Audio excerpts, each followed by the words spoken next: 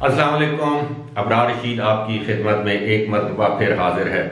और आपने इससे पहले वाली मेरी वीडियो में ये खबर तो सुन ही ली होगी कि सऊदी अरब ने अपने मुल्क में तमाम गैर मुल्की या बैन अवी परवाज़ों की आमद और रवानगी पर पाबंदी आयद कर दी है और ये पाबंदी एक हफ़्ते तक बरकरार रहेगी।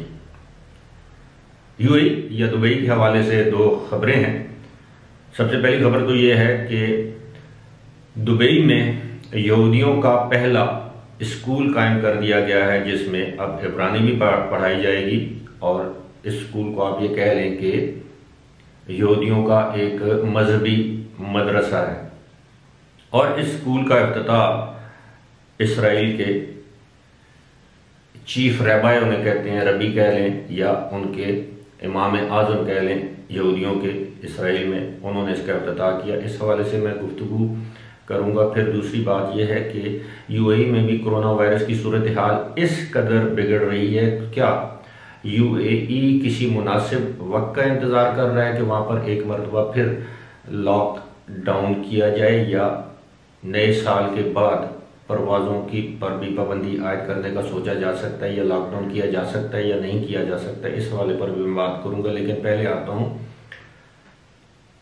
इसराइल में यहूदियों के इमाम आज़म, जिसको चीफ रेबाय कहते हैं यकजक यूसुफ, उन्होंने दुआ दी है यूएई के हुक्मरानों को कि अल्लाह ताला इनकी उम्र दराज करे, अल्लाह इनको खुश रखे, क्योंकि इनकी लिबरल पॉलिसियों की बदौलत अब यूएई यानी मुतहदा अरब अमारात में ना सिर्फ़ यहूदियों का इबादत खाना, जिसे सिनेगाग कहते हैं, उनको खोलने की इजाज़त दे दी गई, बल्कि अब यहूदियों की जो ज़बान है इब्रानी, उसको सिखाने के लिए वहाँ पर तालीमी इदारे भी खोले जा रहे हैं। इसी तरह के एक तालीमी इदारे के अफ्ताह के मौके पर उन्होंने ये दुआया कलमात अदा किए। उन्होंने ये कहा कि इस वक्त यूएई में रहने वाले और यहाँ पर आने वाले यहूदी बड़े खुशकिस्मत हैं कि उन्हें इस तरह के लिबरल हुक्मरान मिले जो कि तमाम मजहबों के जो इबादत गाहें हैं, उनको बनाने की भी इजाज़त देते हैं और तमाम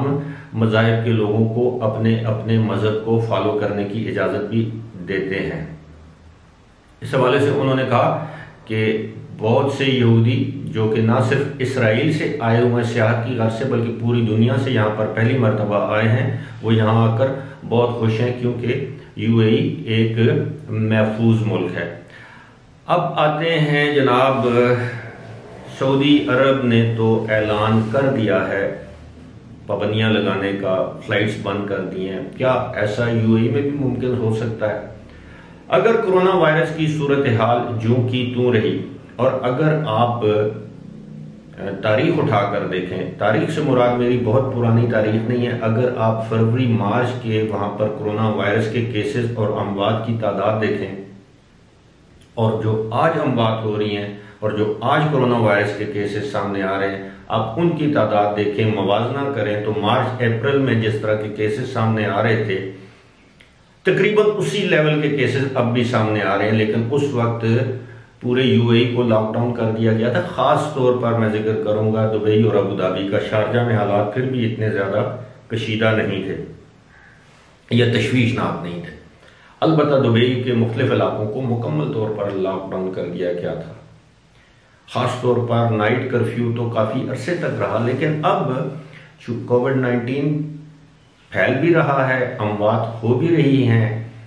मॉल्स भी खुले हैं रेस्टोरेंट्स भी खुले हैं होटल भी खुली हैं, खुले हैं तफरी गाहें भी खुली हैं सैर गाहें भी खुली हैं बीचेस भी खुले हैं, हर जगह खुली है।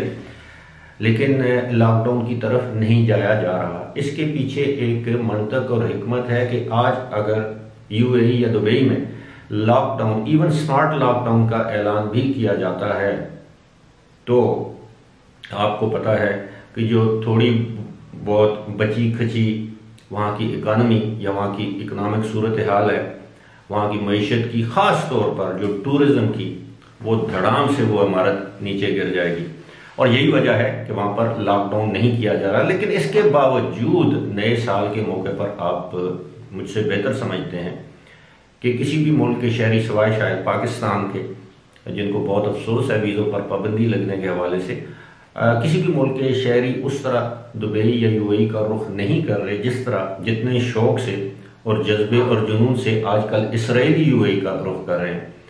मैं ये नहीं कह रहा कि बिल्कुल नहीं आ रहे, लोग आ रहे हैं, लेकिन उतनी बड़ी तादाद में नहीं, क्योंकि यूरोपियन कंट्रीज़ में लॉकडाउन है, बरतानिया में लॉकडाउन है। मैंने पहले भी एक वीडियो में ज़िक्र कर दिया था, अब सऊदी अरब ने अपने आप को बंद कर दिया। तो अब एन मुमकिन है आलमी इदारा सेहत यूएई के हुकाम को कोई वार्निंग दे दे, कोई तंबी कर दे कि जनाब, आपने सब कुछ खोल रखा है।